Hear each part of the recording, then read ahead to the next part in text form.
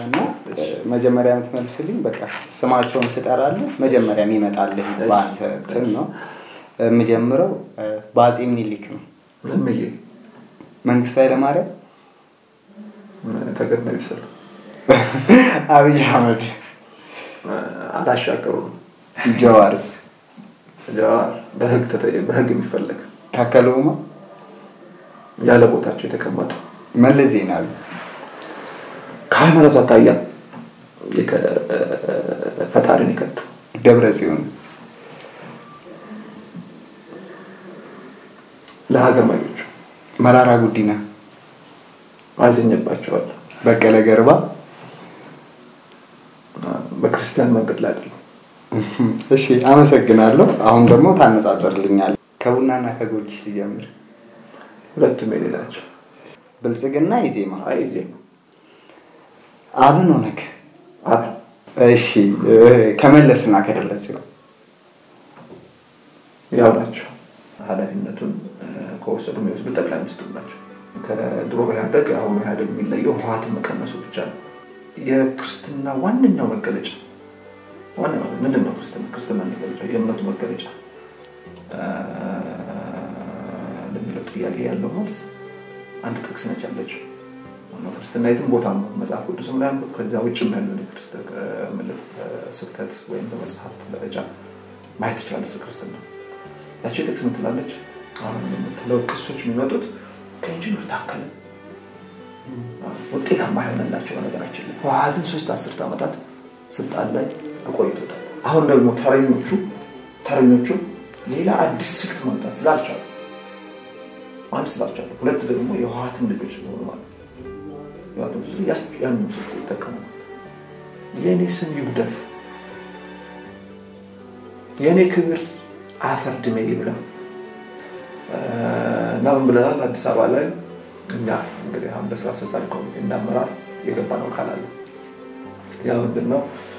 ኢህአደግ በአዲስ አበባ ላይ አንድ መቀመጫ እንግዲህ ሀያ ሶስት መቀመጫ አላት ፌዴራል ፓርላማ ውስጥ አዲስ አበባ ሀያ ሶስቱ ላይ ተሸንፎ ሀያ ሁለቱ ላይ ተሸንፎ አንዱ ላይ ካሸነፈ እኛ እንሰናበተናለን ብለናል።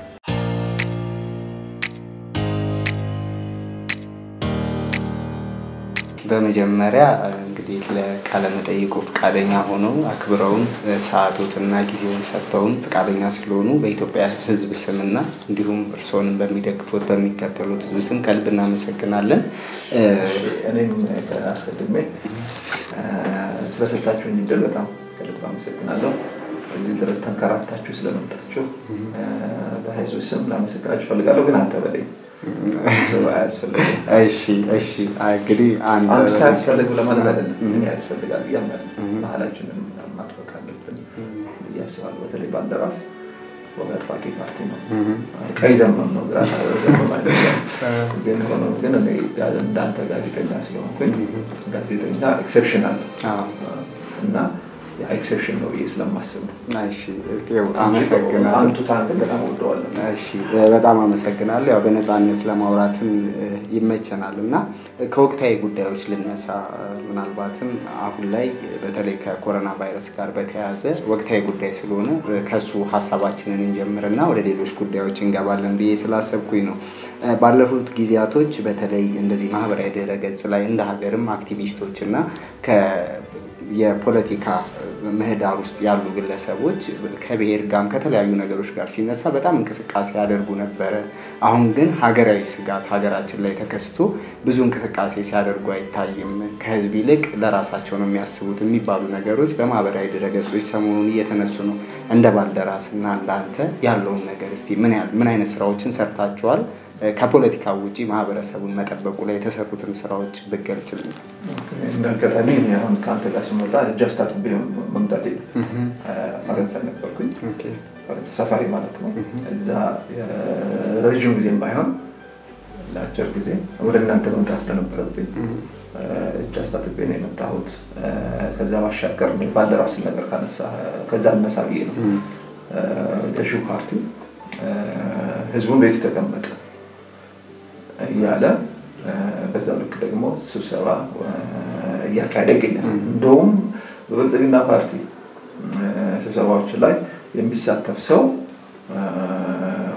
ቫይረስ አይዘውም ተብሎ እስከ መለጠፍ እስከ መቀስቀስም የተደረሰበት ሁኔታ አለ እና ይህን አስመልክተን እኛ ለመንግስት ለተለያዩ ተቋማት የተቃውሞ ደብዳቤ ያስገብተናል እና እነዛ ተቃውሞ ደብዳቤዎች በራሳቸው ውጤት አምጥተዋል ማለት ባንችልም ግን የሞራል ኃላፊነታችንን ተወጥተናል እና አሁን በሂደት ላይ የተለያዩ እንትኖች አሉ፣ መርሃ ግብሮች አሉ። አሁን በዚህ ለሚቀጥለው ሳምንት ያዘጋጀ ነው።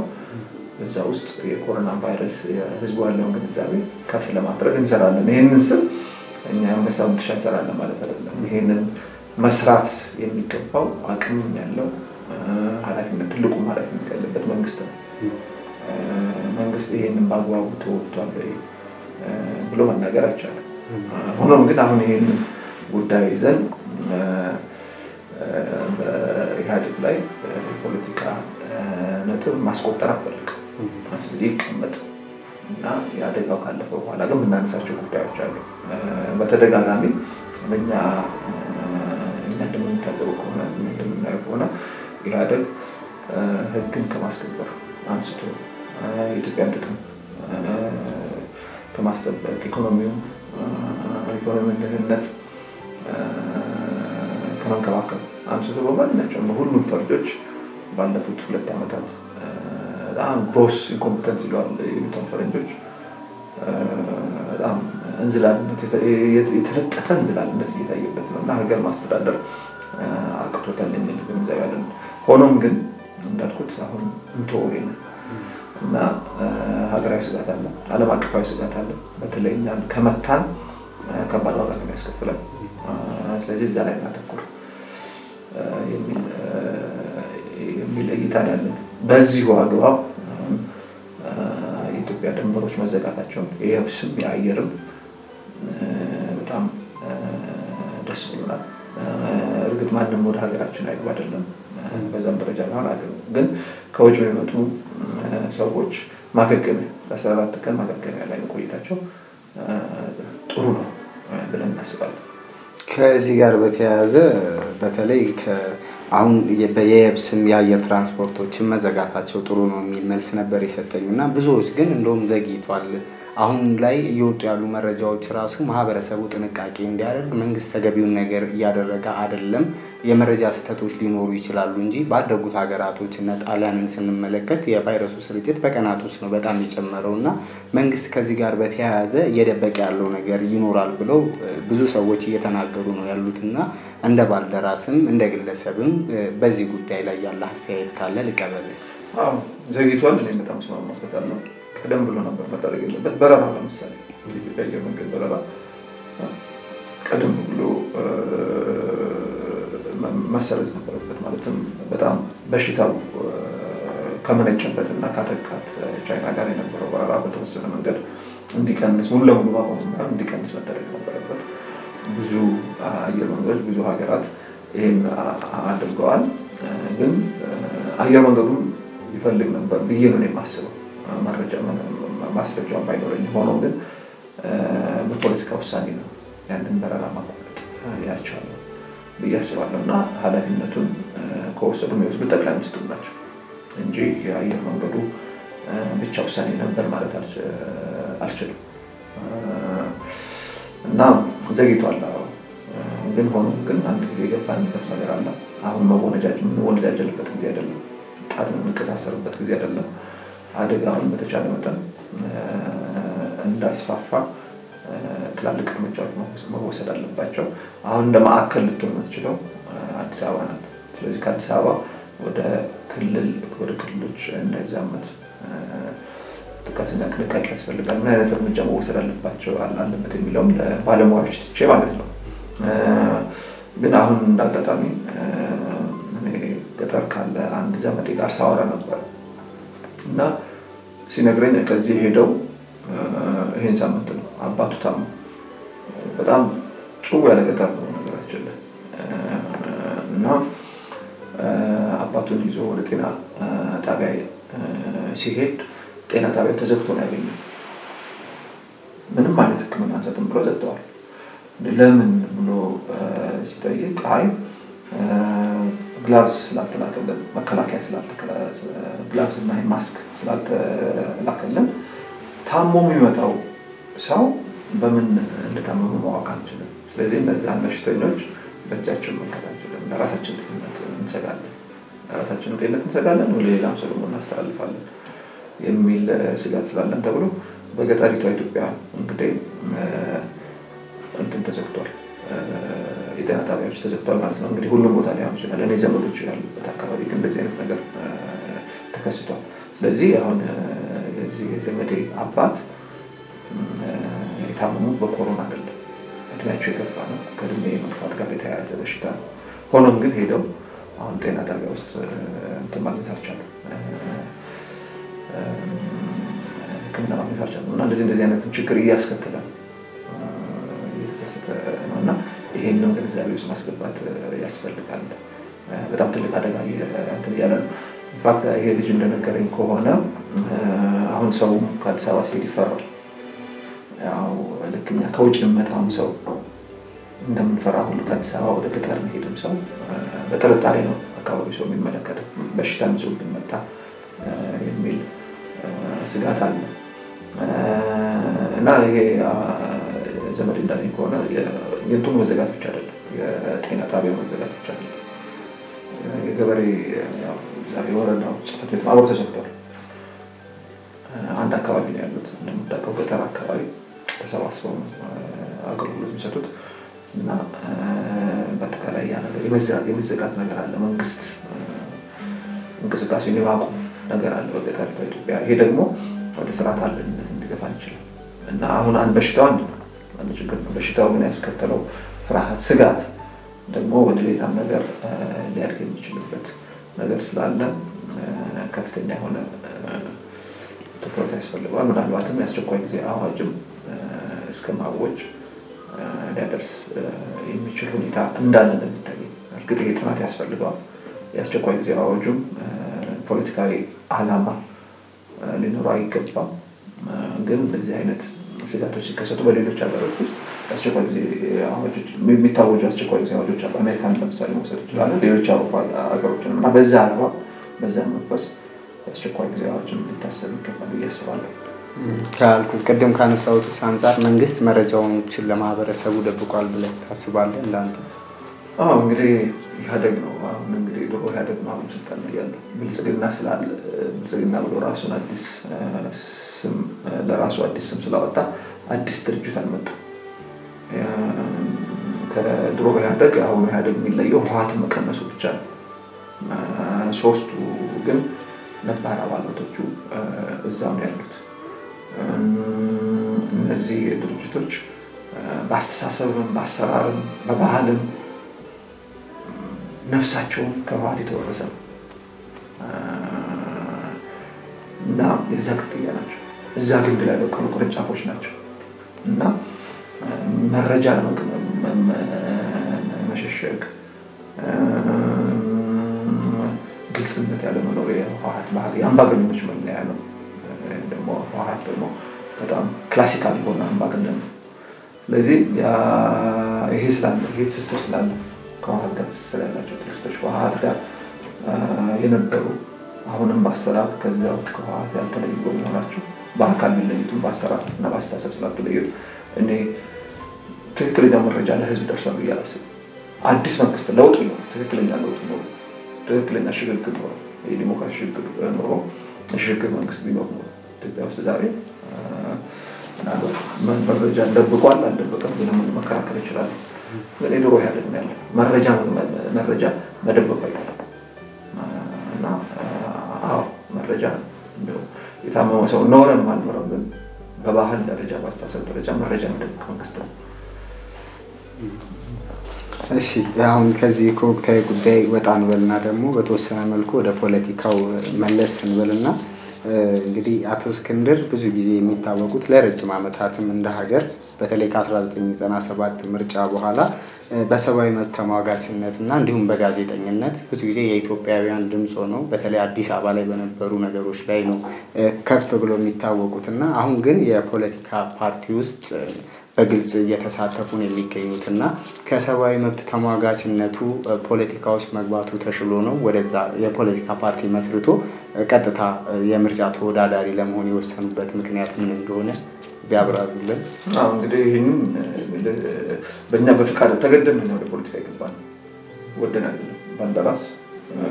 እንደ ሲቪክ ተቋም የነበረው የተሰጠው ተልእኮ በአዲስ አበባ ላይ ልዩ ጥቅም የሚሉትን የአፓርታይድ ሕግ የሚቀበሉ ፓርቲዎች በአዲስ አበባ እንዳይመረጡ ህዝብን ለማንቃትና ለማደራጀት ነበር አላማ። ስለዚህ ይሄ ይሄ አላማ ሲሰጠን ይሄ ሲሰጠን የነበረው presumption ማለትም ታሳቢ የተደረገ ነገር ነበር። ያ ታሳቢ የተደረገው ምንድነው? በአንድ በኩል ኢህአዴግ አለ፣ የዚህ የአፓርታይድ ሕግ ባለቤት ነው። በሌላ በኩል ደግሞ ለዜጎች እኩልነት እና ለኢትዮጵያዊነት የቆሙ ደግሞ ተቃዋሚዎች በተቃራኒ በኩል አሉ የሚለው ይኖራሉ የሚለው እነሱ ተፎካክረው ኢህአዴግን ስልጣን ከኢህአዴግ በምርጫ ተፎካክረው ከኢህአዴግ ስልጣን ይቀበላሉ የሚል ነው። እንደ ሀገር መጥፎ እድላችን ነው መጥፎ እድላችን ሆነው በዚህ ቁመና ላይ ያሉ የፖለቲካ ድርጅቶች በአዲስ አበባ ተፎካክረው ኢህአዴግን ለማሸነፍ የተዘጋጁ ድርጅቶች አሉ ብለን መኖራቸውን ማየት አልቻለም። እኛ ብቻ ሳይሆን ህዝቡ ህዝቡ ራሱ ያሉት የፖለቲካ ድርጅቶች መዙ ነው እነዚህ እኮ እነዚህ እኮ at least ያሸንፋሉ ብሎ የገመታቸው እነዚህ እኮ ራሳቸው ከኢህአዴግ ጋር በጣም የተቀራረቡ ናቸው። ቢያንስ አመራሩ አመራሩ ከኢህአዴግ ጋር በጣም የተቀራረበ ነው። ለእነሱ ድምፅ መስጠት ማለት ዞሮ ዞሮ ለኢህአዴግ ድምፅ መስጠት ማለት ነው። ስለዚህ እናንተ አማራጭ የምትሉት የለም መድረኩ ስለዚህ ያላችሁ አማራጭ እናንተ አማራጭ ሆናችሁ መውጣት ነው ያላችሁ ብቸኛው መንገድ መፍትሄው አሁን አለ ለምንለው ችግር እንደ አዲስ አበባ ህዝብ አለ ለምንለው ችግር በመድረክ ላይ ያሉትን የፖለቲካ ድርጅቶች እንደ አማራጭ ቆጥረን ድምፃችንን መስጠት ሳይሆን እናንተ ራሳቸው የፖለቲካ ድርጅት አድርጋችሁ ድምፃችንን ለእናንተ ምንሰጥ ይሻላል የሚል የሚለው የህዝብ ወደ ፖለቲካ ድርጅት እንገባ ያደረግነው እኛ ፈልገን አይደለም። ግን ትክክለኛ እንትን ይሄ ግፊት ይሄ አቋም በህዝብ ዘንድ at least በእኛ ደጋፊዎች ዘንድ ይሄ ግምገማ ይሄ ትንታኔ ይሄ ድምዳሜ ትክክል ነው ብለን ስላመንበት ከሲቪክ አደረጃጀት ወደ ፖለቲካ ድርጅት አድገናል ማለት ነው። ሁኔታዎች አስገዳጅነት ነው። ትክክለኛ አማራጭ ነው።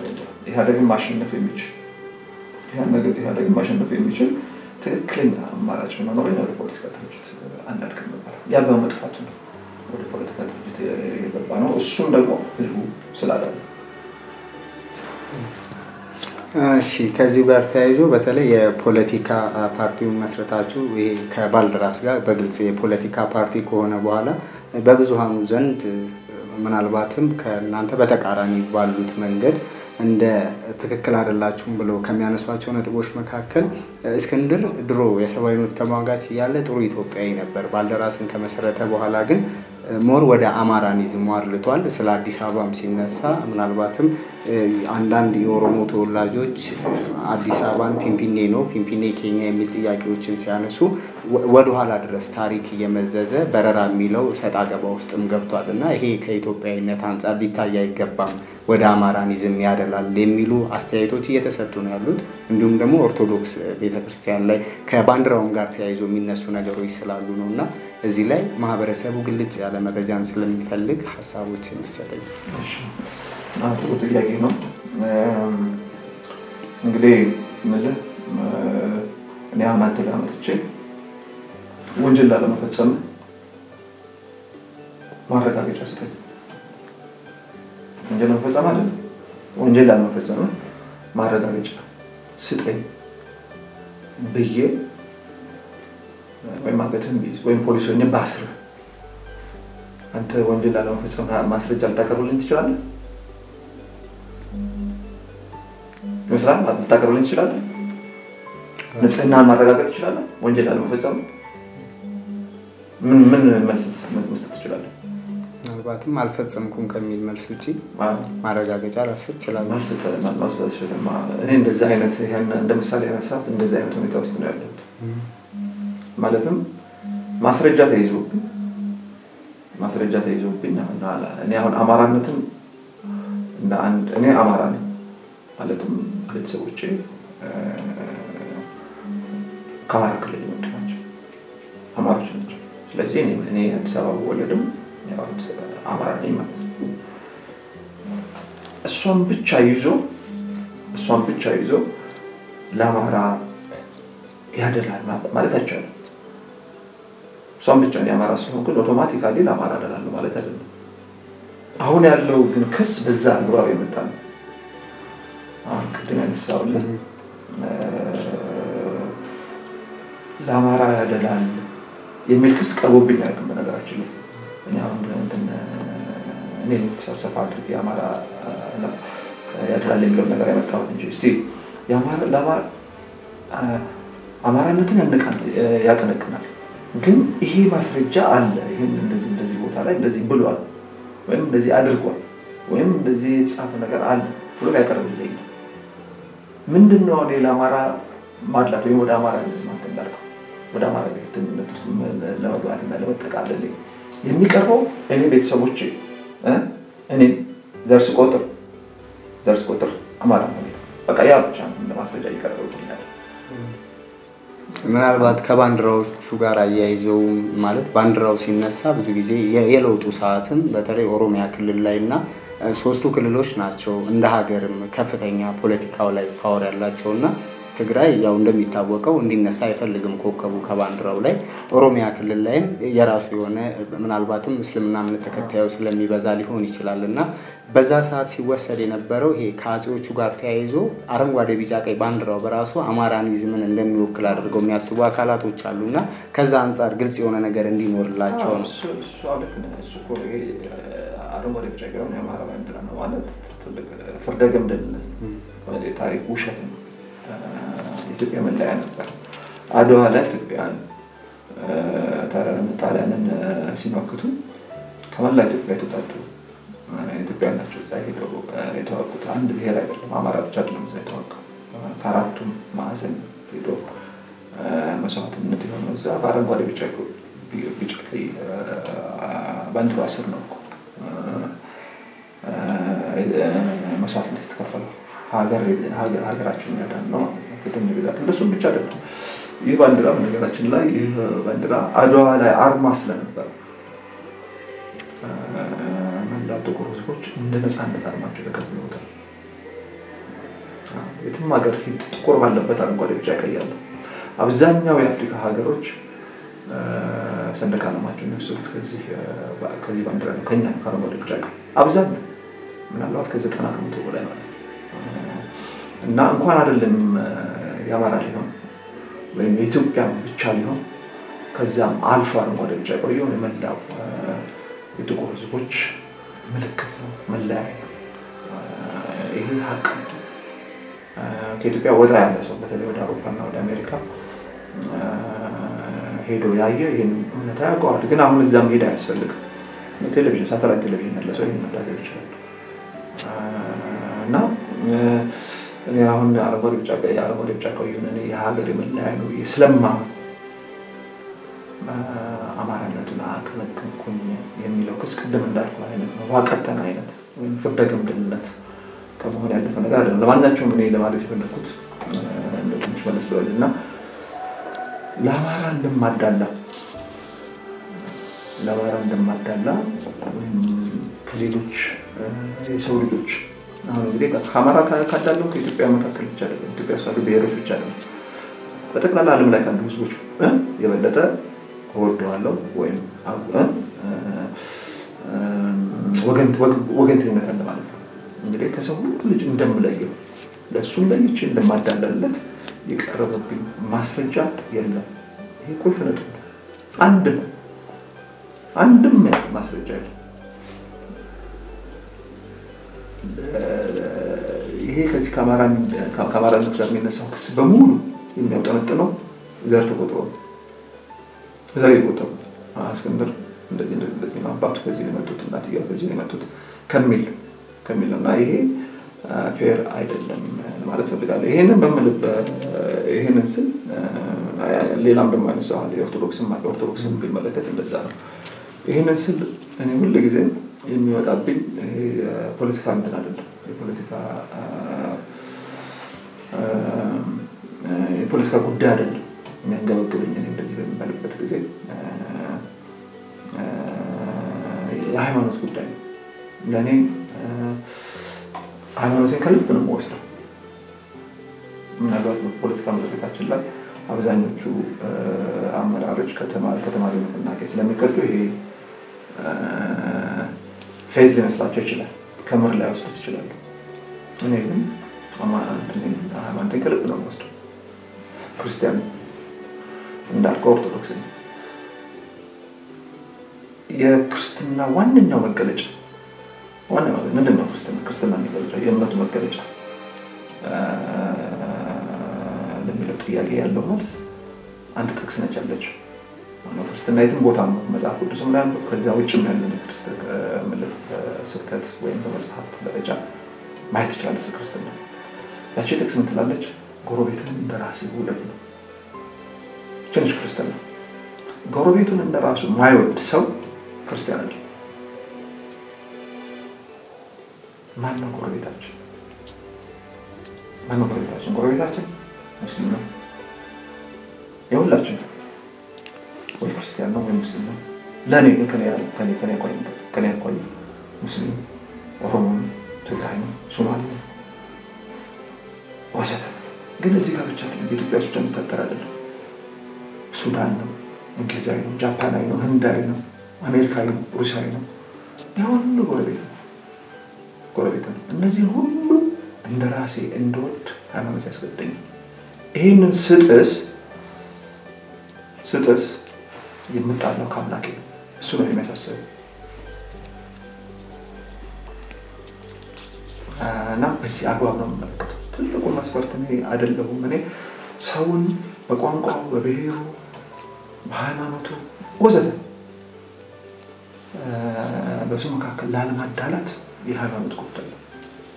በዛ መስፈርት ነው። ከዛ በኋላ ነው ወደ ፖለቲካው መጣው። እንግዲህ ፖለቲካው ሲመጣ ደግሞ ሌሎች ደግሞ ትላልቅ ሴቶች አሉ ላለፉት ከሀያ ዓመት በላይ ታገልላቸው። እነዛ ሴቶች ምንድን ናቸው? እነዛ ጉዳዮች ምንድን ነው? ወደ እስር ቤት የከተተ ምንድን ነው? ዛሬ ከቤቴ ከልጅና ከባለቤቴ ነጥሎ እዚህ ቁጭ ያደረገ ምንድን ነው? ልጅን ያላባት እንዲያድግ ምክንያት ይሆን?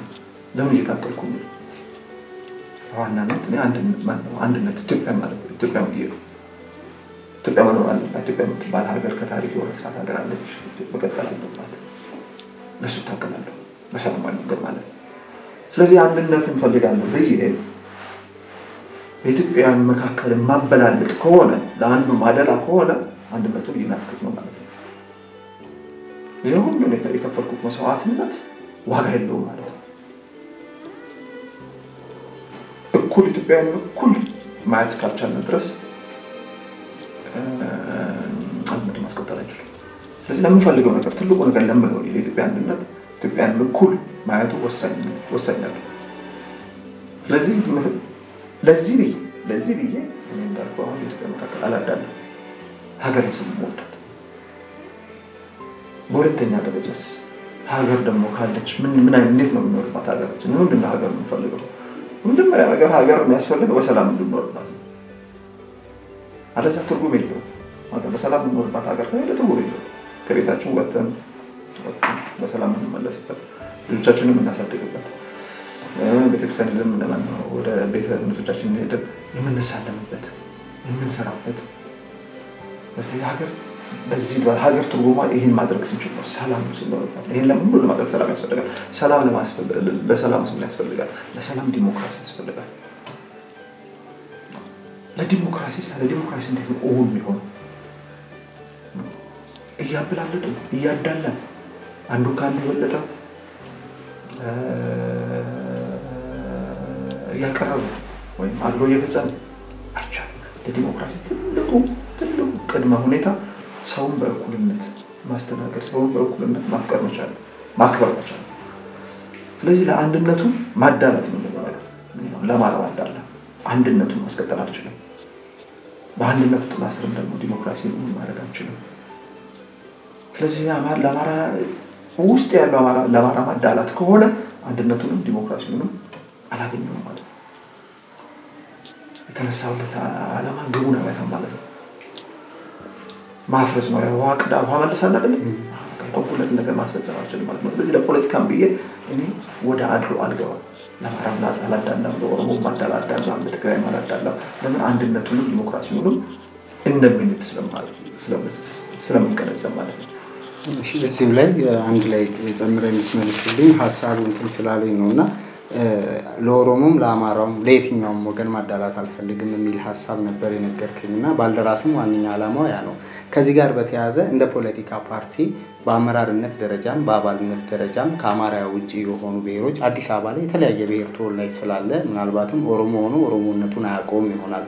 ቅድም አንተም ስታነሳልኝ በዘር ደረጃ ሲቆጠር ቤተሰቦች አማራ ይሆናሉ እንጂ አንተ የአዲስ አበባ ልጅ ነው የምታውቀው አዲስ አበባነትን ነው እና እንደዛ አይነት የሌላ ብሔር ተወላጆች ሆነው ግን የአዲስ አበባ ልጆች የሆኑ በአመራርነት ደረጃም እንዲሁም በአባልነት ደረጃ ባልደራስ ውስጥ አሉ። ምናልባትም አንድ ከማድረጉ አንጻር እያነሳልኝ ካለው ሀሳብ ይሄን በእርግጠኝነት ነው ነገር ግን እንደው መለስ ልበል። ለምሳሌ ባላደራ በነበርንበት ሰዓት ላይ አሁን ባልደራስ ሆነናል። ባላደራ እና ባልደራስ አሁን ፖለቲካ ድርጅት ስናል ባልደራስ ሆነናል። ግን ባላደራ በነበርንበት ጊዜ ስ ጠይቀ ማን ነበር ምክትል ስለ ባላደራው ጀርባ ታሪክ ተጠንቶ ነው አሁን ያለ ማንነት ከጀርባ ጋር የተያያዘ ነው አይደለም። ስለዚህ አሁን ፓስ ብሄቪየር ቦታ አለው ማለት ነው። ስለዚህ ማን ነበር እርግጠኛ አይደለሁም፣ መረጃ የለኝም የዛን ጊዜው ላይ። ምናልባት አሁንም ለማወቅ ማህበረሰቡን ማወቅ ስላለበት ማህበረሰቡ ማወቅ ስላለበት ኤርሚያስ ለገሰ ኤርሚያስ ለገሰ ዋቅጅራ በነገራችን ኦሮሞ እንደ ምሳሌ ነው ማነሳለ እሱን ማነሳበት ማነሳበት ሁል ጊዜ የአያቱን ስም ይጽፋል። የተለያየ ቦታ ስለዚህ ይታወቃል።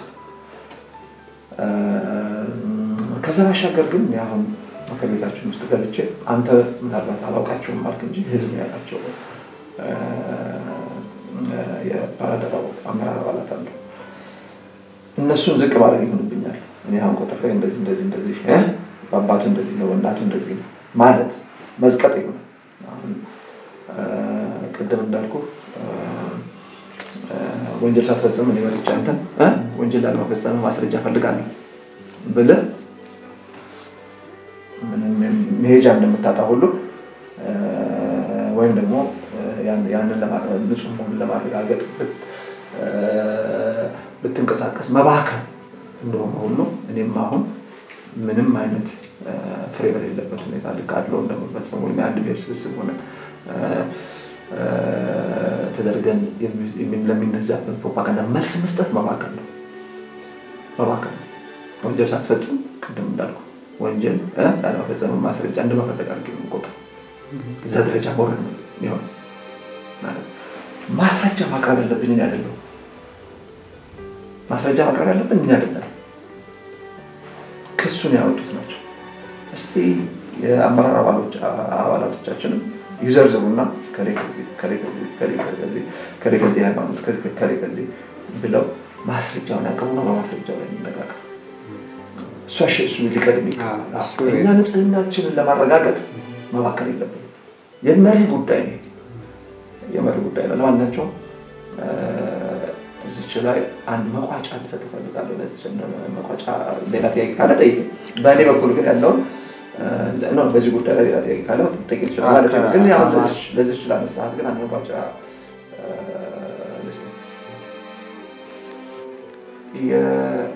በየትኛውም ሀገር ያሉ አምባገነኖች የዲሞክራሲ ጥያቄ ሲጠየቁ የሚሆኑ ጥያቄ ሲጠየቁ ጥያቄውን ያነሱት ግለሰቦችን ስብዕና ነው የሚያጠቁት። ይሄ የተለመደ የትም ቦታ የትም ቦታ ነው። በህወሓት ዘመንም እዚሁ ሀገራችን በሰፊ አይተናል። በደርግ ጊዜም እንደዚህ ከዛም በፊት በነበሩ የኢትዮጵያ ውስጥ ስርዓቶችም እንደዚሁ። ግን በዓለም አቀፍም ደረጃ ይሄ የጋራ የአምባገነኖች ባህሪ ነው። ምንድን ነው? ለምንድን ነው እንደዚህ የሚያደርጉት? ለተጠየቀው ጥያቄ መልስ ስለሌላቸው ከተጠየቀው ጥያቄ ላይ ትኩረት ነቅለው ነቅለው ወደ ሌላ ጉዳይ እንዲሄድ የሚፈልጉት አሁን አዲስ አበባ እኛ ይዘን የተነሳ ነው ጥያቄ አለ። ያ ጥያቄ የሚለው ኦሮሚያ በአዲስ አበባ ላይ ልዩ ጥቅም አይገባትም። የአፓርታይድ ህግ አስተሳሰብ የአፓርታይድ ህግ ነው። ለዚህ ምላሽ መስጠት ያስፈልጋል። በኛ ተቀምልን የእኛን የተቃወሙት ሰዎች መጀመሪያ መስጠት ያለባቸው ለዚህ ጥያቄ መልስ ነው። አሁን የምትለው ክሶች የሚመጡት ከኢንጂነር ታከለ ከኢህአዴግ ደጋፊዎች ነው። በፊት ለፊት የሚደግፈዋለ፣ በባሩ በኩል የሚደግፈዋለ። ከእነሱ የሚመጣ። መጀመሪያ እሺ ጥሩ እኛ ጉድለት አለብን እሱን የሚለውን እንኳን ብንቀበል እንኳን እንበልና እኛ እንደተባለው እንኳን ከአንድ ብሔር ከአንድ ሃይማኖት ወይም አድሎ የምንፈጽም ብንሆን የተጠየቀው ውስጥ ጥያቄ የተጠየቀው ጥያቄ ኦሮሚያ በአዲስ አበባ ላይ ልዩ ጥቅም ይገባታል። ለዛስ መልሳቸው ምንድን? ለምንድን ነው ያንን ለዛ ጥያቄ መልስ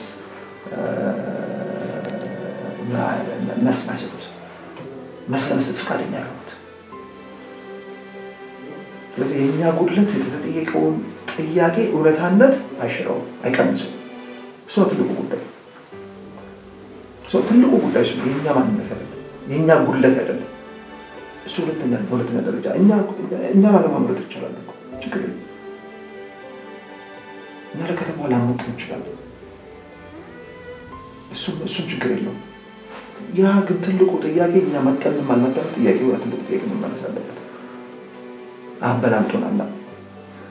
አንዱን የሀገር ባለቤት አድርጎ እኔ የምከፍለው ማለት እኔ የምከፍለው አንዱን ደግሞ መጤ አድርጎ የምከፍለው ማለት አንዱ ከፋይ፣ አንዱ ተከፋይ ለምን? አንዱ የሀገር ባለቤት ነው፣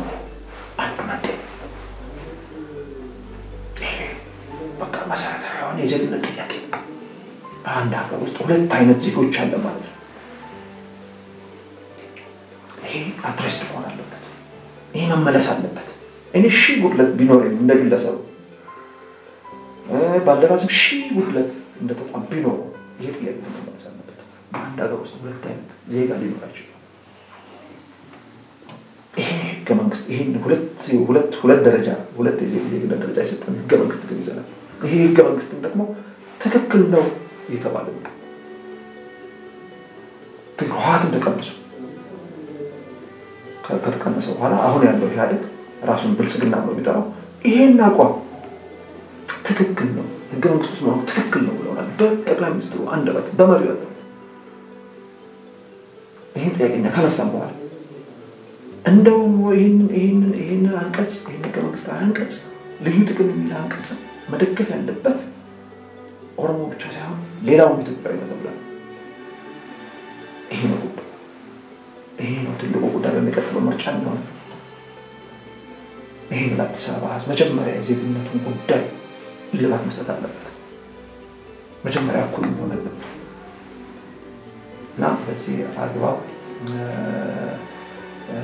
እየሄደ እንዳለ ማለት ነገሮች ትልቁ ትልቁ ስዕል ያለው በዛ ውስጥ እየሄደ ግን ከዚህ ላይ ከዚህ ሂደት ሊያወጡት ከሀዲዱ ሊያወጡት የሚፈልጉ አካሎች ደግሞ እንደዚህ አይነት ጫጫታ አላቸው። የብሔርና የሃይማኖት ካርድ የብሔርና የሃይማኖት ካርድ ደግሞ ህወሓት ስልጣን ላይ ከወጣ ጀምሮ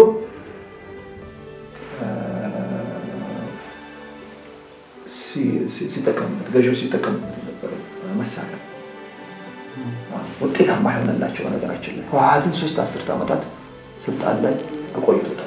አሁን ደግሞ ተረኞቹ ተረኞቹ ሌላ አዲስ ስልት መምጣት ስላልቻሉ አንድ ስላልቻሉ፣ ሁለት ደግሞ የህወሓትም ልጆች ስለሆኑ ማለት ነው ያንን ስልት ይጠቀሙ ብሔርና ሃይማኖትን እንደ ካርድ መዛው እሱ ቅድም ከተነሳ መሰረታዊ የዜግነት ጥያቄ ህዝቡን ትኩረቱ ሊሰሙት ይፈልጋሉ። በዚህ ካርድ ሊከፋፍሉ ነው የሚፈልጉት።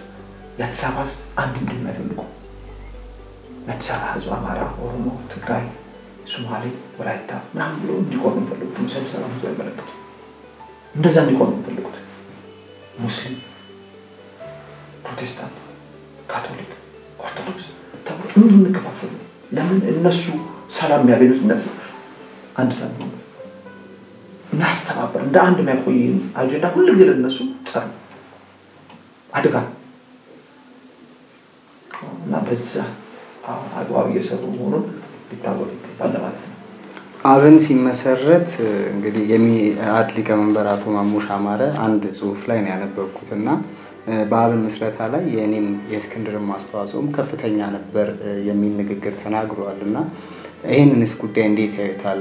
እንዴት ታየዋለህ? ይቅርታ እና በተደጋጋሚ ኢትዮጵያዊነትን እያልከኝ ነው። በተለይ የብሔር ፖለቲካን የሚያቀነቅኑ የፖለቲካ ፓርቲዎችንም ሆነ ግለሰቦችን እስክንድር እንደማይቀበል ነው የሚታወቀው እና አብን ደግሞ አማራውን ወክሎ የመጣ አካል ነው እና መመስረቱ ላይ አስተዋጽኦ ካበረከት አሁን እስከ ብሔር አስተሳሰብ ነፃ ነኝ ብለህ ታስባለህ?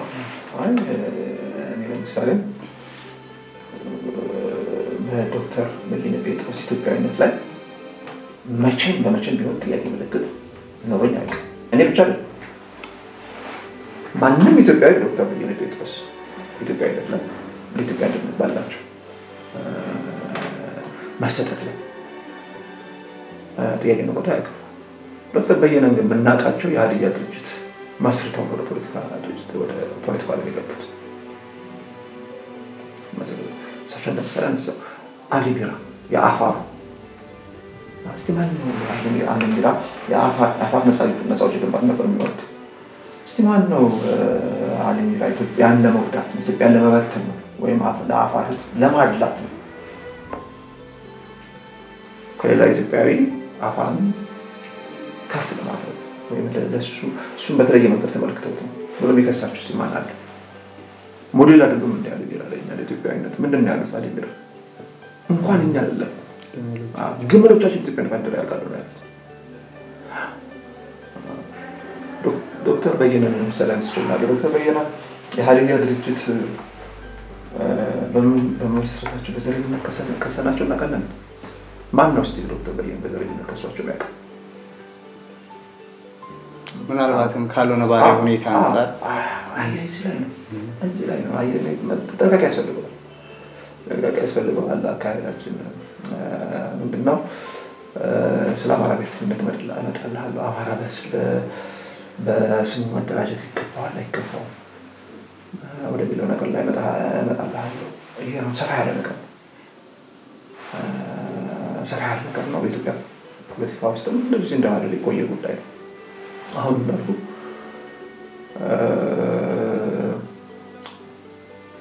የብሔር ድርጅቶች በሙሉ ዘረኛ ወይም ጸረ ኢትዮጵያ አይደሉም።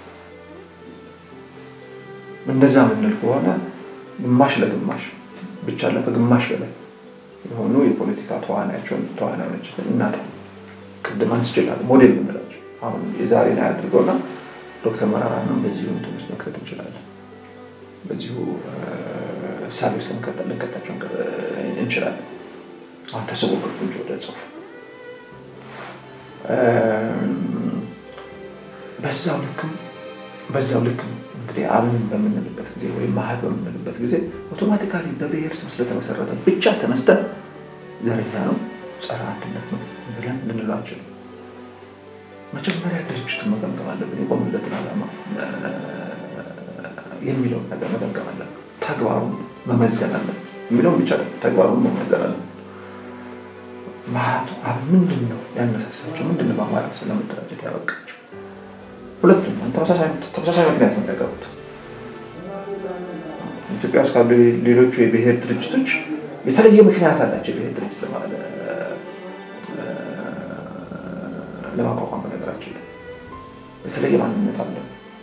ከኢትዮጵያነት የተለየ ማንነት አለ። ኢትዮጵያን አንፈልግም በሚል ሳቢ አለ። ማህድም ሆነ አብን ያነሱት ጥያቄ አማራ በማንነቱ ይጠቃል ይጠቃል፣ እየሞተ ነው እየሞተ ነው። ራሱን መከላከል አለበት። ራሱን ለመከላከል መደራጀት አለበት ነው የሚሉት። ከራስ መከላከል ጋር ከራስ መከላከል ጋር ነው የአማራ መደራጀት የሚያነሱት የዛን አስፈላጊነት የሚያነሱት። እስቲ ማን ነው በየትኛው ህግ በየትኛው የሞራል ህግ በየትኛው የመርህ ነው ማለትም የሞራልም ሆነ ዓለማዊ ዝም ብለን የህግ ህግ እንበለው ነው። ራስን መከላከል ወንጀል የሆነበት አማራ ላይ ጥቃት የለም። በማንነቱ ጥቃት የለም። ይህ የተፈበረከ ነገር ነው፣ ውሸት ነው፣ ማንም አልነካውም በማንነቱ ብሎ የሚከራከር ካለ ሌላ ጉዳይ ሌላ ጉዳይ በማስረጃ ማቅረባቸው አማራ አልሞትም፣ በማንነቱ አልታደለም፣ ደሙ አልፈሰሰም ብሎ የሚል ካለ ተነስቶ የስ የለም ፋብሪካው ነው ሰበብ ዘረኛ ስለሆነ ተደራጀ ብሎ መከራከር ይችላል። እኔ ግን እስከማውቀው ድረስ በኢትዮጵያ ውስጥ በአማራ በማንነቱ አልሞትም ብሎ የሚከራከር አንድ ሰው የለም። አንድ ሰው በየትኛውም የፖለቲካ አሰራር ውስጥ ያለ በየትኛውም ያ ግን በአማራው ላይ ብቻ የደረሰ ነገር ነው ብለህ ነው የምታስበው? በዋናነት። ማለት አሁን የኦሮሞ የፖለቲከኞችም ይህንን ሀሳብ ያነሳሉ በተደጋጋሚ። በተለይ በህወሓት ዘመን የኦሮሞ በጣም ተበድሏል፣ እንደዚህ አይነት ጭቆና ደርሶበታል የሚሉ እና እነሱንም ልክ አሁን የበቀል ፖለቲካ አደረግነው በሚል ሴንስ ነው እንደዚህ አይነት ሀሳብን ሲያነሱ ተዉ የሚባል አይነት ነገር እየተፈጠረ ከአማራው ጋር ለኢትዮጵያኒዝም እንደውም በጣም ብዙ ጊዜ አማራው ነው የሚነሳው። እንደውም ኢትዮጵያዊነት ሲነሳ ቅድሚያ እና ኦሮሞውን ተው እያልን እንደዚህ አይነት አስተሳሰብ ያላቸው የኦሮሞ ፖለቲከኞችን ተው እያልን ከአማራው ግን አማራነትን የሚያቀነቅን ሲመጣ አይጋጭም ወይ ሁለቱን? በጣም ጥሩ ጥያቄ ጠየቅ። በህወሓት ዘመን ኦሮሞ በኦሮሞ ተጠቅቷል፣ ተጠቅቷል። ምንም ጥያቄ የለም። አማራስ በአማራነት ተጠቅቷል፣ ተጠቅቷል። ምንም ጥያቄ የለም። አፋርም እንደዚህ ተጠቅቷል። የአድሏዊ ስርዓት መስርቶ ስለነበር ህወሓት ሁሉንም አጥቅቶ በብሔራቸውም በአስተሳሰባቸውም በሁሉም ነገር አጥቅቶ ዘረኛ ስለሆነ ማለት ነው። ይሄ መንግስታዊ ጥቃት ይሄ በጋራ የምንጋራው ነገር ነው። ይሄ ጋራ ታሪካችን ነው። የአማራው የሚለየው ምንድን ነው? አማራው ግን አማራው የሚለይበት ሌላ ምክንያት አለ። non state actor እንለዋለን። non state actor መንግስታዊ ያልሆኑ ኃይሎች እንግዲህ ማን ነው በኢትዮጵያ ውስጥ መንግስታዊ ካልሆነ አካሎች ጥቃት የደረሰበት ያለ የሚለውን ጥያቄ ስታመጣ ደግሞ አማራው ቁልጭ ብሎ ይወጣል። ቁልጭ ብሎ ይወጣል። የተወሰኑ ምሳሌዎችን በተሰጠኝ አሁን የኢትዮጵያ ፖለቲካ ሀሁ ነው እኮ። ኦሮሚያ ውስጥ ማነው ሲያጠቃው ነው? በአርባጉ እኮ። እንደ ምሳሌ ነው ማለትሳለሁ። እነማን ናቸው ጥቅማቸው ሲያጠቁት የነበረው? ይህን ማያውቃል ኢትዮጵያ ውስጥ እየኖረ በተለያዩ ክልሎች አሁን በኦሮሚያ ውስጥ አይደለም፣ የተለያዩ ክልሎች በተለያዩ ክልሎች መንግስታዊ ያልሆነ ጥቃት ኢላማ ነው ማለት። ይሄ ደግሞ ለየት ያደርገዋል ኢትዮጵያ ውስጥ በየቦታው። ይሄ ነው አብንና መሀልን የወለደው።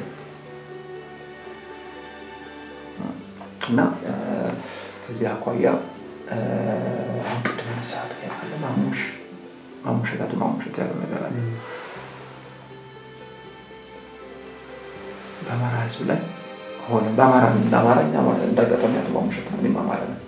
ግን አንድ ሲጠቃ አማራ ሲጠቃ በራሱ መደራጀት አለበት ያልነው አማራ ስለሆነ ብቻ አይደለም፣ ወይም አማራ ስለሆነ አይደለም። ኦሮሞ በኦሮሞነቱ ቢጠቃ ኦሮሞ መደራጀት አለበት። አሁን እንዳልኩ መለየት አለበት። አሁን ከመንግስት የሚመጣውን ጥቃት የጋራ የስርዓት ጥያቄ ነው።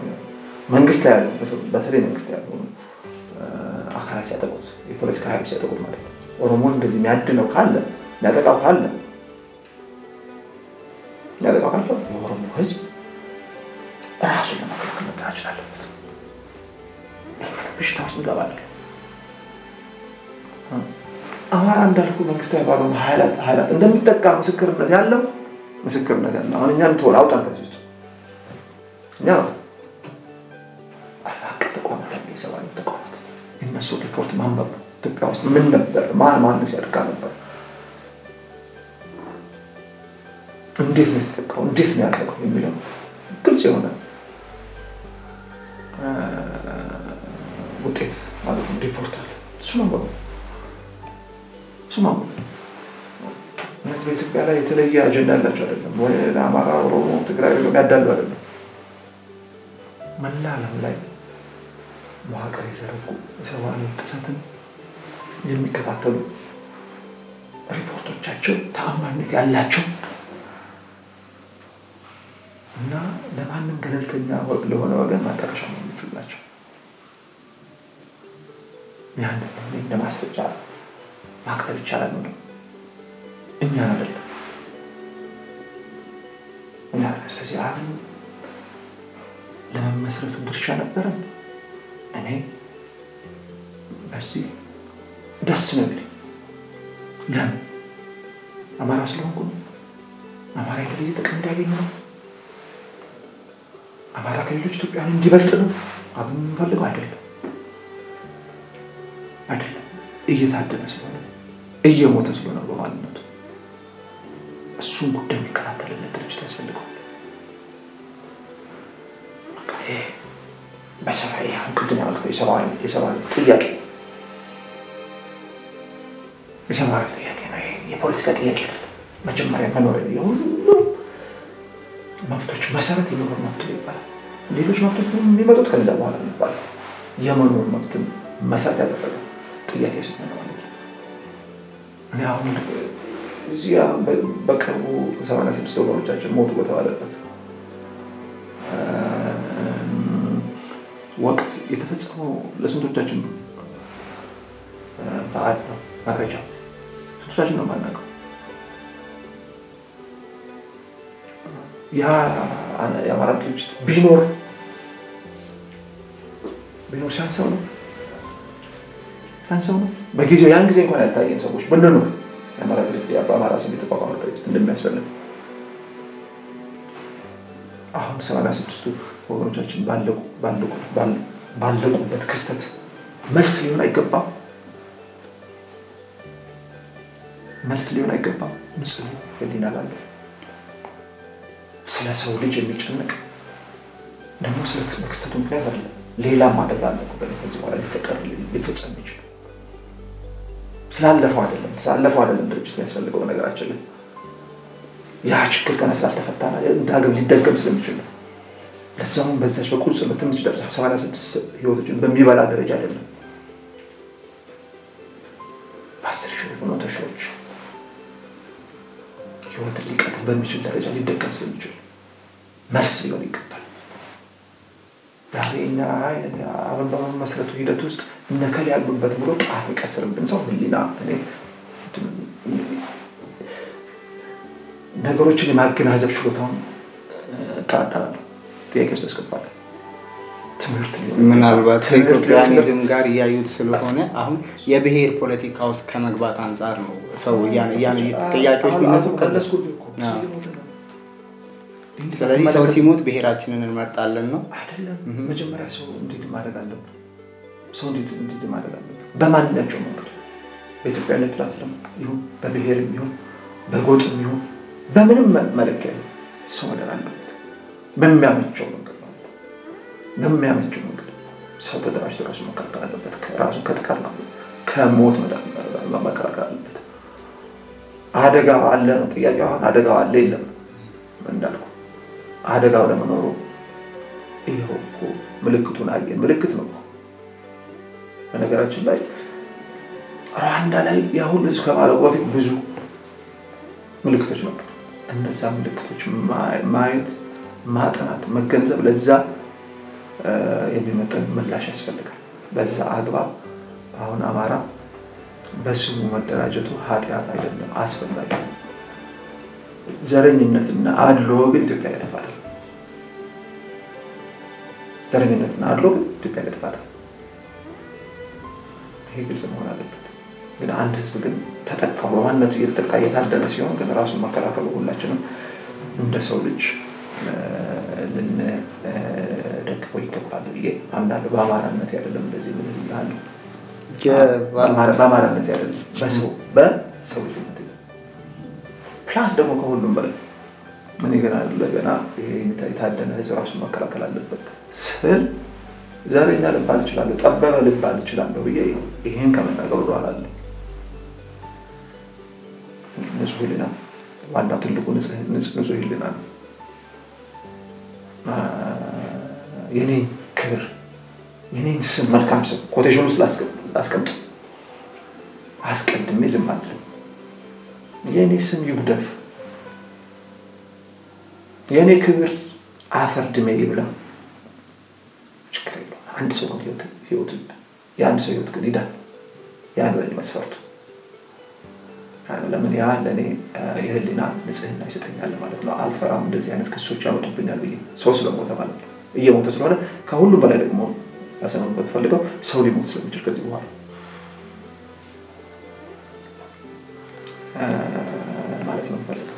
እሺ በመጨረሻ በተለይ ከባልደራስ የሰሞኑን ውህደቱንም ተያይዞ ከመያድ ጋር ተዋህዷል እና ከዛ ጋር ተያይዞም የሚነሱ ጥያቄዎች አሉ። ከዛ በተጨማሪ በተለይ አሁን እነ ኢዜማን የመሳሰሉ ምናልባትም ከኢትዮጵያዊነት ጋር በተያያዘ የሚነሱ ሁሉም ከጀርባ የሚነገር ነገር አለ። ማህበረሰቡ እንደዚሁ ቅድም ማረጋገጫ የሌላቸው አይነት ወሬዎች የሚወሩበት እና በተለይ እዛ ላይ ያነሷቸው ነጥቦች ነበሩ። ቪዲዮዎቹንም እያየው ነበረ። ከ1997ቱ ከቅንጅት ብዙ ነገር ተምረናል እና እንደዚህ አይነት ስህተት ደግመን አንሰራም እና ግን ከውህደቱ ጀምሮም ደግሞ ጥያቄ የሚያነሱ አሉ። የውህደቱ መስፈርት ምን ነበረ? ከመያድ ጋር አንድ ላይ ለመስራት የወሰናችሁበት ሌሎችስ ፓርቲዎች አልነበሩም? በጋራ ሆነው ኢትዮጵያን ከፍ አድርገው ከባልደራስ ጋር ጎን መቆም የሚችሉ እነ የመሳሰሉ ምናልባት የሀሳብ ልዩነት ካለም የምትለያዩበትን ነገር አጠር አድርገው ቢገልጹልኝ። እንግዲህ ምን ውህደት አይደለም ያለው ቅንጅት ቅንጅት ግንባር ቅንጅት ነው የፈጠርነው እና ይህንን እንዳልኩ መከታተል ሰለቶች ነበር ውስጥ ይህንን ሂደት ስንጀምር ሶስት ነበር። አሁን ስም አልጠራም፣ አስፈላጊ አይደለም። ከሶስታችን መጨረሻ ላይ ተስማማ ነው ሁለታችን ነው። ምንድን ነው መስፈርቱ ላልከኝ፣ ሶስት መስፈርቶች አሉ። ቅድም አንስቼልሃለሁ። የአድሎ ጥያቄ ስነሳ ያለው ጥያቄ በጣም የታገልኩት ለአንድነትና ለዲሞክራሲ ነው። አድሎ እየፈጸምኩ አንድነትና ለአንድነትና ለዲሞክራሲ መታገል አልችልም። ያነሱን እውን ማድረግ አልችልም። ስለዚህ አድሎ አልፈጽምም እያለ አሁን እንደ መስፈርት ቆጠርናቸው። ትልቁ ጉዳይ የምንላቸው ለመቀናጀት ማለት ነው። ከአንድ ድርጅት ጋር ስል ሁለት ማይነቁ ምሰሶዎች አሉ። እነዚያም አንድነትና ዲሞክራሲ ያልኩ ነገር ናቸው። ስለዚህ ከመያድ ጋር ለመቀናጀት ትልቅ መሰረት የሆነ በአንድነትና በዲሞክራሲ ላይ የምንጠረጠረው ድርጅት አይደለም። እንደውም ማስተማሪያችን ፈርቀዳችን ማን ነው መያድ ዘጠና ሰባት ላይ የቅንጅት ምርጫውን ያሸነፈው ኢህአዴግን ያሸነፈው መሰረት አስኳሉ አስኳሉ። ስለዚህ ማን እንደሆነ እናውቃለን። እኛም ደግሞ በወቅቱ የቀጥታ በፖለቲካም ድርጅት ባይሆን ቢያንስ እኔን ከባልደራስ ውስጥ ያገኛል ያጎናል የሚያድ ሰዎች በዚህ በአንድነቱና በዲሞክራሲ ላይ ያለኝ አቋም ግልጽ ነው። ጥያቄ ውስጥ የሚገባ አይደለም። ስለዚህ እሱ መሰረቱ ነው። ሌላ ደግሞ አዲስ ነው የምንለው ግን ሌላ ያስተሳሰረን ጉዳይ አለ። ከብዙ ፖለቲካ ድርጅቶች ጋር ነው። አብረን ልንቆማቸው ያላደረገን ምንድን ነው ከሌሎች የተለየው ላድከው ማለት ነው። እሱ ደግሞ ምንድነው በኢህአዴግ ላይ ያለን አቋም አሁን ቅድም እያለ ብልጽግና ማን ነው ስንል አይ ብልጽግና አዲስ ድርጅት ነው የሚሉ ተቃዋሚዎች አሉ። የድሮ ኢህአዴግ ከስሞ ብልጽግና የሚባል አዲስ ድርጅት መጥቷል። በቃ ኢህአዴግ ተቃሟል። ስለዚህ ይህን ብልጽግና ብልጽግና እንደ አዲስ ድርጅት ተመልክተን አዲስ ስትራቴጂ ነው ስለሱ ከሱ ጋር ማውጣት ያለብን አዲስ ታክቲክ ስትራቴጂ መቀየስ ያለብን ድርጅት ይለዋል። ከእነዚህ ጋር መቆም አንችልም። አብዛኞቹ ፉርሽ የምናደርጋቸው በዚህ ነው። ይህንን ስንል ደግሞ ምንድነው አብረን ላለመቆም በእኛ መስፈርት ነው። እነሱ ደግሞ በራሳቸው መስፈርት ጋር እኛም ፉርሽ የሚያደርጉበት ብዙ መስፈርት አላቸው። ለማናቸውም እኛ አብዛኞቹ እንደዚህ ስለሚሉ ከእነሱ ጋር አብረን መቆም አንችልም።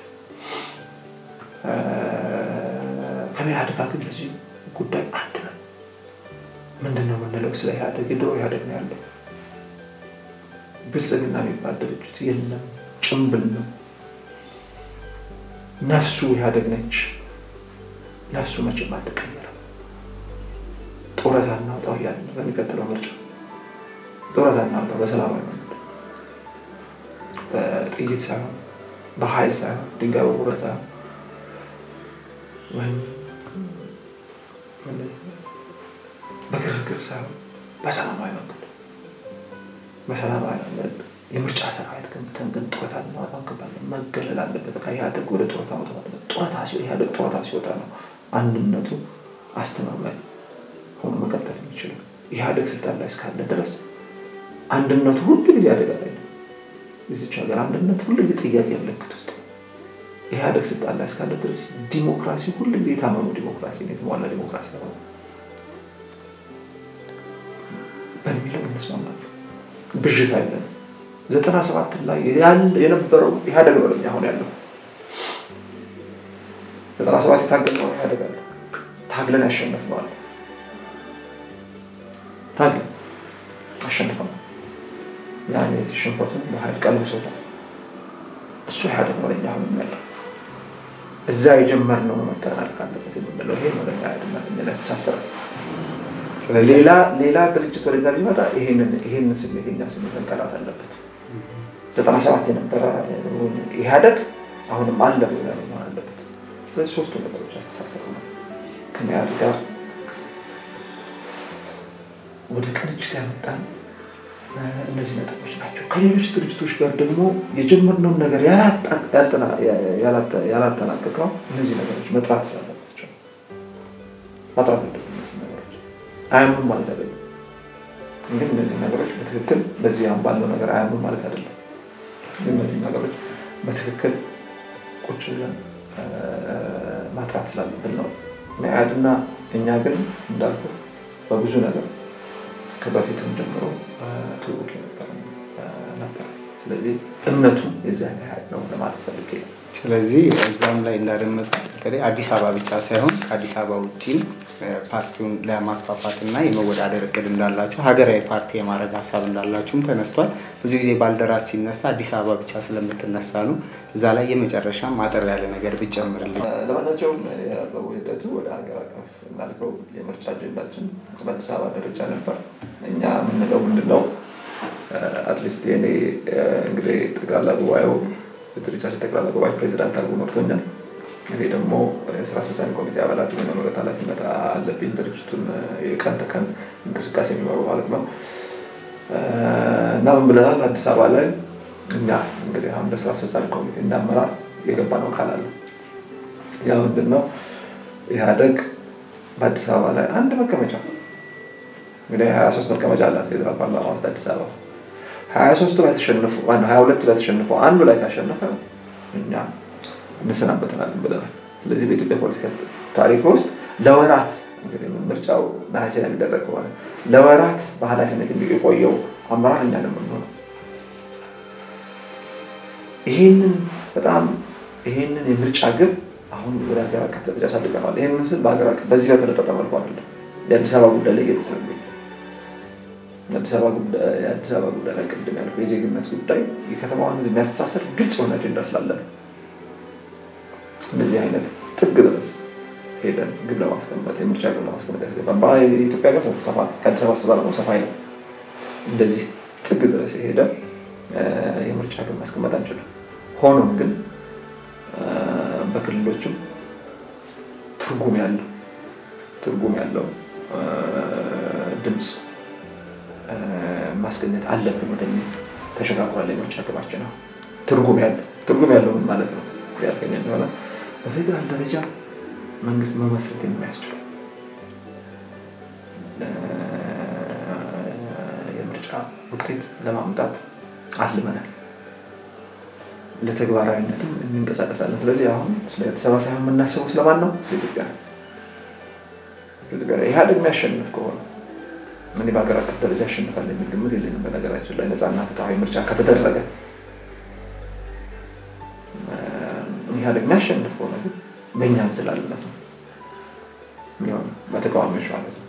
ይህንን የቤት ስራ ኢህአዴግን በሀገር አቀፍ ደረጃ የማሸነፉ ስራ ባልደራስ ማነው መያዶች አይሆን ግን በአጠቃላይ በሀገር አቀፍ ደረጃ ያሉ ተቃዋሚዎች በጣም እንዝላል በሆኑ ነው የብልጽግና ማነው ኢህአዴግ የሚያሸንፈው? ኢህአዴግ ብልጽግና እና በዛ ውስጥ ባልደራስ መያዝ ድርሻው ጉልህ መሆን አለበት ብለን እየተንቀሳቀስን ያለ ጉልህ ሀገራዊ ለውጥ በመምጣት ውስጥ ጉልህ ሚና የእኛ ብቻ ሚና ይሆን የሀገራዊ ጥረት ሀገራዊ መቀናጀትን ይጠይቃል። ግን በዛ ውስጥ በጣም ጉልህ ሚና ይኖረናል ብለን እንግዲህ አስበናል። እኛ አስበናል። ፈጻሚ ግን እግዚአብሔር ፈጣሪ ስለዚህ ሰው ያስባል ፈጣሪ ፈጽማል ነው ይባላል አይደለም። እኛ ያሰብነው እንግዲህ ፈጣሪ በራሱ መንገድ እውን እንዲያደርግልን ነው የምንጸልየው። ትልቁ ኃይላችን እኔ በግሌ እንደ ድርጅት መናገር አልችልም። ትልቁ ኃይል ጸሎት ነው። ጸሎት ነው ብዬ ነው የማስበው እና በቀናነት ነው ያሰብነው ነው፣ በጥላቻ አይደለም። እኛ ኢህአዴግን ለመበቀል የመበቀል ዓላማ የለንም። የኢህአዴግን ዘመን እንዲያከትም የምንፈልገው ደቡብ አፍሪካ ውስጥ የናሽናል ፓርቲ የአፓርታይድ አፓርታይድ ስርዓት እውን ያደረገው ማለት ነው። ፓርቲ በተፈጸሙበት መልኩ በዛ መልክ እንትን መቋጫ እንድንሰጠው ኢህአዴግን የምናለው ፍጹም ሰላማዊ መንገድ አንድም የበቀል እርምጃ ሳይወስድ ማለት ነው። ግን ዋሹ በራሱ ከታሪክ መድረክ ላይ እንዲሰናበት ነው የምንፈልገው። በነገራችን ላይ ደቡብ አፍሪካ እንደ አርባ ስምንት ዓመታት ያስተዳደረው ናሽናል ፓርቲ ኒውክሌር ቦምብ የሚገነባው ናሽናል ፓርቲ በአፍሪካ ምድር ላይ የመጀመሪያው ዓለም ይሄ በጣም ያደገ ሀገር ደሴት የገነባው የነጮቹ ማለት ነው። ለነጮቹ ባደጉት ደረጃ በአውሮፓና በአሜሪካ ደረጃ እድገት እድገት እንዲኖራቸው ያደረገው ናሽናል ፓርቲ መጨረሻ ላይ ከፖለቲካ መድረክ ሲሰናበት ቤት ኪራይ መክፈል አቅቶት አቅቶት የቤት ኪራዩን ውል ቀዶ በር ቆልፎ ሄዱ። ማንም አልነካው። ANC አንድ ነገር አልነካው። ANC ማለት አሁን ስልጣን ላይ ያለው ኔልሰን ማንዴላ ማለት አቅቶት ነው በቃ አቅቶት በቃ አባላት የለኝም አባላት ቀሩበት። ተፈጥሮ መዋሸሸ። ይሄ ማርክስ wither away የሚለው ነገር አለ። መንግስት መጨረሻ ላይ ሟምቶ ይጠፋል የሚለው ነገር አለ። withering away of the state አለ። ሟምቶ ጠፋ ናሽናል ፓርቲ። ኢህአዴግም እንደዛ እንዲሆን እኔ በግሌ ራዕይ ያለ ከሰራው ከሰራው ሀገራዊ ጥፋት አኳያ ኢትዮጵያ ባህር በር ከማሳጣት አንስቶ ማለት ሀገሪቷን ወደ ጥፋት አፋፍ ከማድረሱ አኳያ ይህ በእጅጉ በእጅጉ ቀና አስተሳሰብ ነው ብዬ ነው እንደ ኢህአዴግ ሀገር የበደለ ድርጅት ላይ በጣም ጥቂት ነው። ነገራችን ነው አንድን ሀገር ለምሳሌ የባህር በር አልባ ያደረገ ድርጅት ስለመኖሩ አለ ዓለም ተው እያለ እንቢ ብሎ ሀገሩን ባህር በር ያሳጣ ድርጅት የሚያደርግ ተው እያለ ማለት ነው። አሜሪካኖች ተው እያለ ይህን ድርጅት አሁን እኛ መበቀል አለብን። እንደው እንደት ቢሆን እንደ ዓለማዊ ነገር ሊሆን ነው እንበቀለው ማለት በቀል ስም መግደል ሳይሆን በእስር የህግ ጥሰት አለው በሳ በህግ አግባብ ይታይ ጉዳያቸው ማለት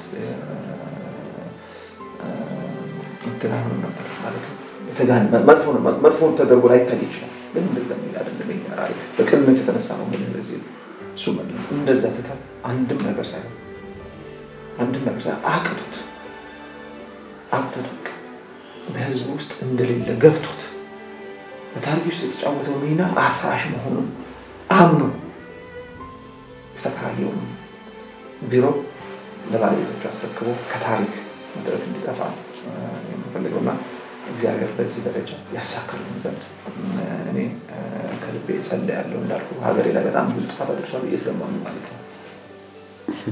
እሺ፣ አመሰግናለሁ። እስኪ ፈቃደኛ ሆነ በደንብ በተለይ ከባልደራስ ጋር በተያያዘ ለሰጠህን መረጃ ሀሳብን በተመልካቾቻችን ስም ከልብ ነው የማመሰግነው።